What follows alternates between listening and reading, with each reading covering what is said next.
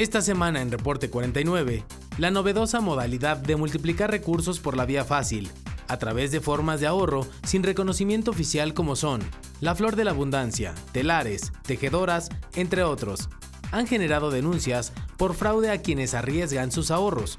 Es el tema que conversamos con autoridades convocadas en Reporte 49, jueves 22.30 horas, viernes 8.30 horas, sábado 17 horas. Canal 49, el canal de Morelos.